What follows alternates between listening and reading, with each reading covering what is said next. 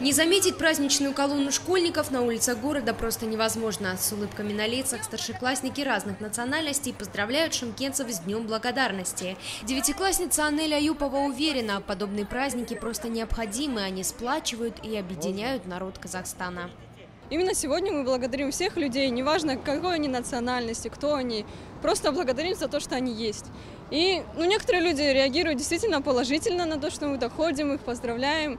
Информационные листовки и смайлики с пожеланиями для прохожих. В ходе шествия ученики знакомят шимкенцев с новым для Казахстана праздником – Днем Благодарности. Прохожим затея школьников нравится. Они останавливаются и с удовольствием поздравляют всех.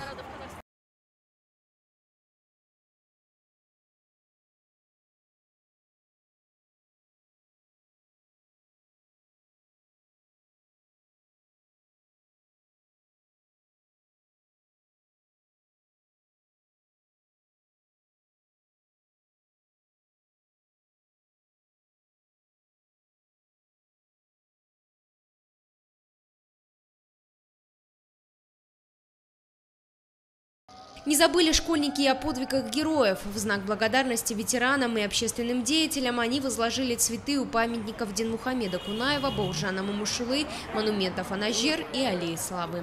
Я благодарна нашим детям, потому что любая инициатива, которая э, отходит из, от администрации, от учителей гимназии, она сразу же находит поддержку. И вы видите креативных наших детей, детей, которые на самом деле э, подошли творчески. Сегодня они разъясняют народу Шимкента, жителям, что это за праздник, что нужно любить друг друга, что нужно бережно относиться.